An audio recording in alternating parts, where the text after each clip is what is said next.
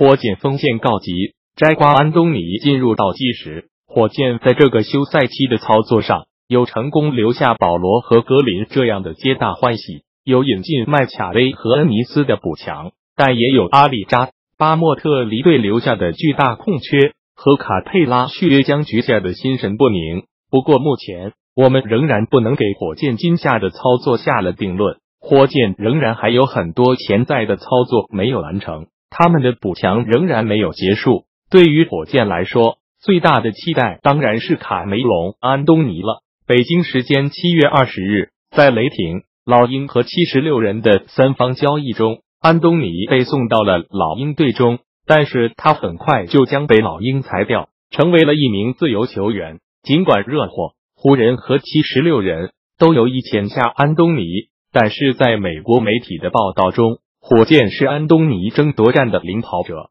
甚至连竞争对手热火都表态称，安东尼将会和火箭完成签约。据报道称，在和热火的沟通中，安东尼对于在热火中扮演的角色和薪水待遇有着很大的出入，而这也成了火箭最大的优势所在。火箭在阿里扎离队后，三号位上的空缺急需弥补。虽然火箭已经签下了恩尼斯，但是他的能力显然达不到火箭的预期。而安东尼似乎是最好的人选，尽管上个赛季在雷霆过的郁郁寡欢，十六点二分的场均得分和百分之四十点四的投篮命中率均是职业生涯最低，但他仍然是联盟最具为威胁的进攻球员。而且在火箭队中，安东尼也最有可能得到梦寐以求的总冠军，这可能是对他最有吸引力的一点。另外，虽然火箭现在的薪资空间，仅有大概五百万美元左右，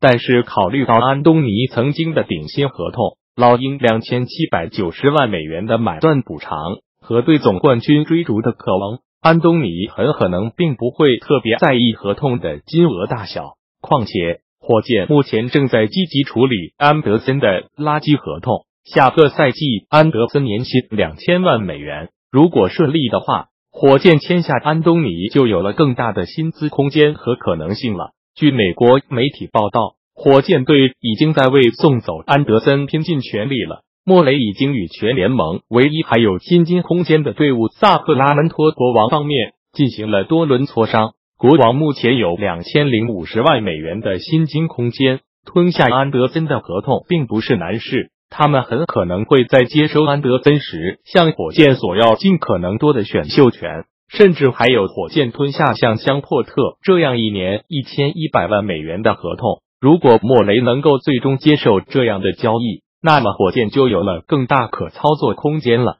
这就为他们继续的潜在引援提供了巨大的支持。罗尼胡德也是火箭潜在的引援对象。据克利夫兰媒体报道。受限制自由球员罗德尼·胡德的经纪人已经与火箭队管理层进行了简单的沟通。尽管骑士给胡德提供了一份价值三百四十万美元的资质报价，但是胡德很有可能不会选择留在骑士。上个赛季中途加盟骑士后，胡德在常规赛表现还不错，场均能够得到十点八分，但是到了季后赛中却完全遭到弃用。甚至一度出现拒绝替补出场，和球队产生了矛盾。胡德在爵士期间表现还是相当出色的，一度成为了爵士的进攻箭头。在被送往骑士之前，他场均能够得到十六点八分、二点八篮板、一点七助攻，因此心气很高。能力尚在的胡德不大可能会在一支产生过矛盾的重建球队中接受三百四十万美元的续约合同。